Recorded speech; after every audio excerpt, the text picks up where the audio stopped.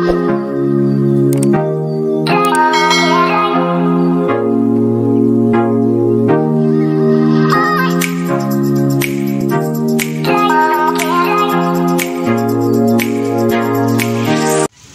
ate, ano, si ate Jobe. Yan ate Jobe, kina ano namin, tanggap namin yung padala mo. Joby Kloppenborg. Yan, salamat ate Jobe.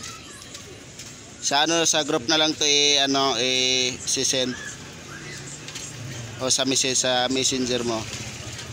Yan. Ring Perez clear quartz with green jade. Akin na lang Magkano ka din?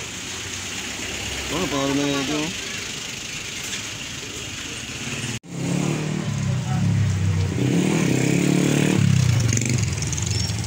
Ano tayo? Sabi mo tayong girlfriend mo.